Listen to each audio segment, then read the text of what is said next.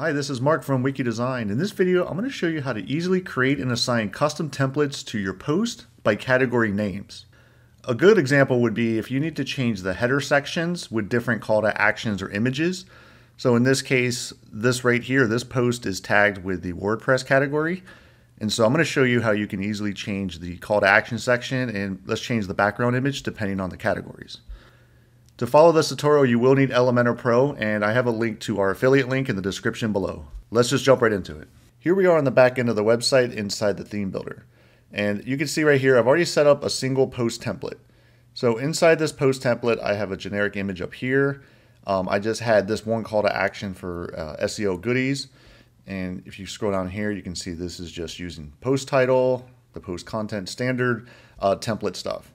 So now what I want to do is, if you go back here, you can see I have one called WordPress single post. So what, what it's doing is, by default, everything is going to get assigned as a post, this template right here. But the good thing is, if you go into a new post template, you can see right here where it says instance, it's just going to tag category number 10, which in this case was WordPress. So now I'm going to show you how I was able to build that and how you can assign different templates. Now I'm going to click this edit button here on the WordPress single post. And I'm going to show you how you can tag it to that category. So here we are right here in the back end and let's go ahead and change the background image here so you can easily tell which category the post template is on. So let's go ahead in here and let's just do um, this one right here. I was doing a Halloween thing, so let, this is just an example. Let's just throw this up here. And you can see right here, this is a WordPress category. So I just typed in WordPress just so you can visually see which page template you're on. So what you do is you go down here and right under display conditions, this is where you can assign your categories.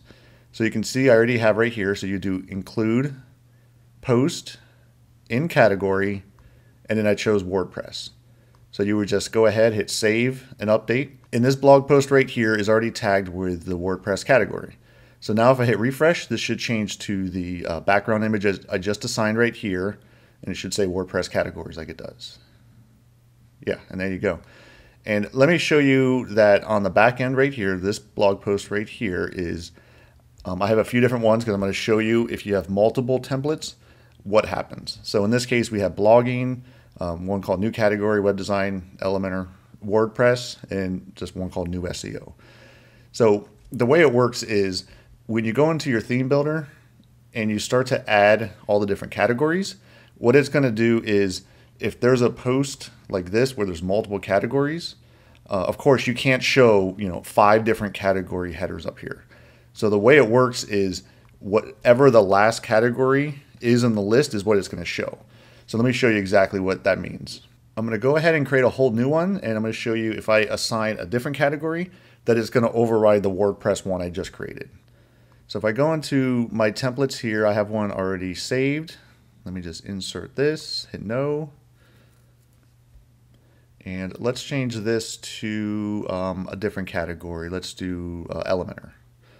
So if we go in here and I type in, close this one out because I'm going to get confused.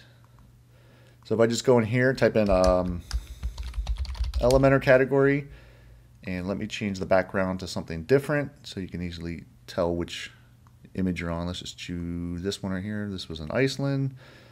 Let's do center center, just so you see something different. So you can always go in here, of course, and change whatever you need depending on that category.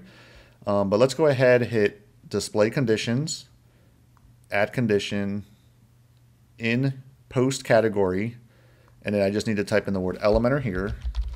So you have to already have these categories in your system. You can't add them within the page right here. You need to make sure that they're already in WordPress and then they'll pop up in here. So let's go ahead and hit categories. So now this is telling the website if a blog post is tagged with Elementor, show this header instead of the generic one that we assigned originally. So now when we go to the page, when I hit refresh, this should change to that new background image of Iceland and this should say Elementor. Let's go ahead, and hit refresh. And yeah, there you go. Again, if the post has multiple categories tagged, it's going to display the very last one in this list.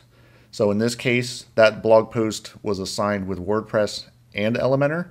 So instead of showing the WordPress one or this original one right here, it's going to show the Elementor one. And that's it for this video. I hope that this was helpful because I noticed that not a lot of people know that you can change your pages depending on whatever the blog post category is. So I wanted to make this video to show you how easy it is to display a different page depending on the category name.